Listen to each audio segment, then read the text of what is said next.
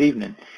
Tutor John here with a question about scale, in particular the scale of two different maps of Ohio.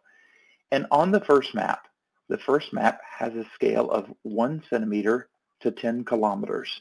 And it says that we know the distance from Cleveland to Cincinnati on this map is 40 centimeters. It says on the second map, however, the scale is different. It's 1 centimeter is equal to 50 kilometers. And they want to know if the distance from Cleveland Cincinnati is measured 40 centimeters on the first map, how many centimeters is it going to be on the second map? So really what we have here are some equivalent fractions. We've set up a proportion, also called a ratio, of one centimeter for every 10 kilometers. We know that the distance on the first map is 40 centimeters. So what we're going to simply do is to do what we call cross multiply and then simplify. So let me just indicate here that we're going to multiply these two and then we're going to multiply these two and we're going to set them equal to each other. So I'm going to go over here, I'm going to grab my pen, and let's get started. 10 times 40 is 400. And 1 times x is 1x. So if we set these equal to each other, 1x equals 400. And remember when the x by itself, the opposite of multiplying times 1 is dividing by 1. Remember that whatever we do to one side of the problem, we have to do to the other.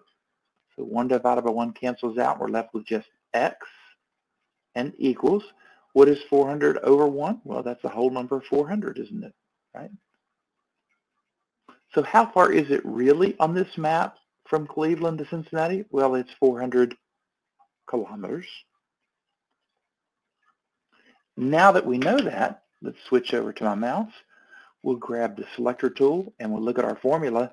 Now that we know it's 400 kilometers, we can fill in this one, right? So we're going to click this formula and say edit. We're going to remove our question mark with a 400 kilometers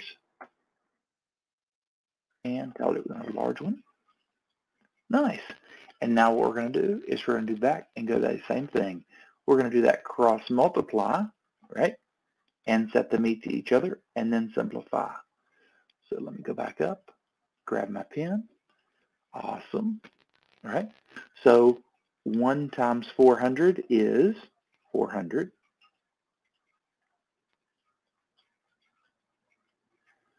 And 50 times x is 50x.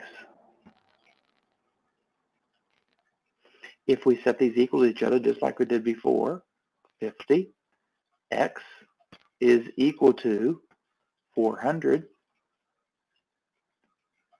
We're going to divide both the sides by 50 because the opposite of multiplying times 50 is dividing by 50.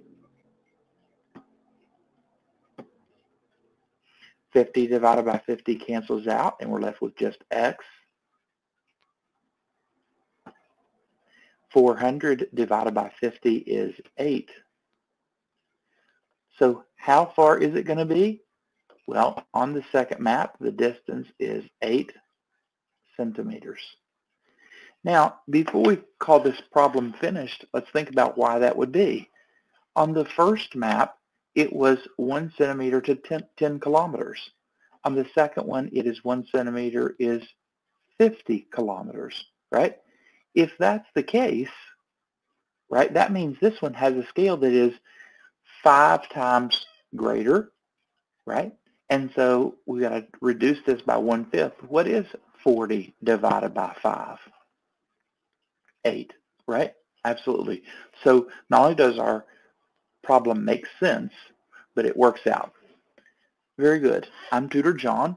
If you're having problem with questions like these and you'd like a tutor, do me a favor and scan the QR code here or use the link in the message below.